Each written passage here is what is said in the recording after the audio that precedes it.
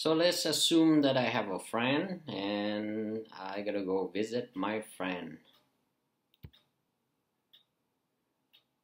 It's my house, that's my friend's house. So I walk north for six kilometers because I love to exercise as I was walking and then I go six kilometers east and I got to my friend's house. The distance that I travel is the total of 12 kilometers. Well, the shorter distance from my house to my friend's house is represented by the displacement vectors. It's from this point to that point.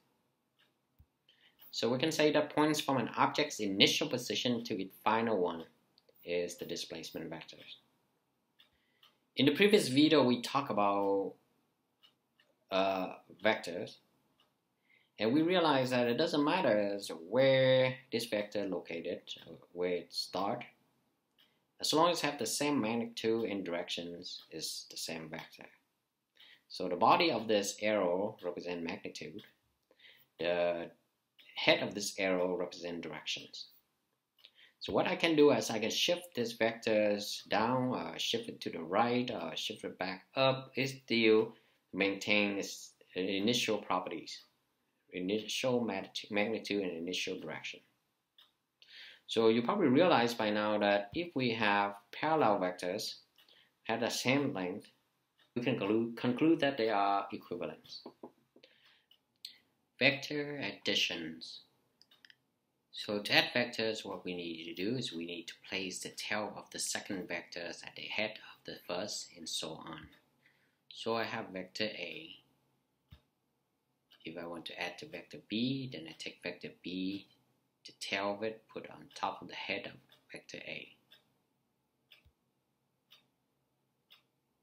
And then vector sum points from tail of first to the head of the last, that would be the resultant vectors. So you take vector A plus vector B, if you draw from the tail of the first vector to the head of the last vector, that will give you the resultant. When vectors are added together, the sum is independent of the order of additions. So if you take vector A plus vector B, it should equal to vector B, B plus vector A. So let's see that. So let's say I take vector A, vector B first. I draw that down here. I can shift the vector without changing the magnitude nor the direction. And then I'm going to put vector A, the tail vector A to the head of vector B, okay, to draw the second one.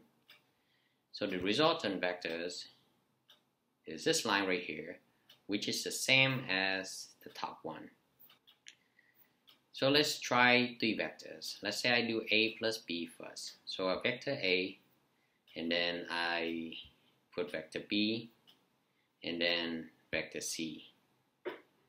The resultant vectors is from the tail of the first one to the head of the last vector. So that will give me the resultant vectors. So let's see if I do B plus C first and then plus A to see if the same as the first one. So remember this resultant vector line. So if I do A, B, which is vector B first and then go down vector C and then go add to A then you have the same resultant vectors as the previous drawing so whether you add two vectors or three doesn't matter the order of additions you should get the same resultant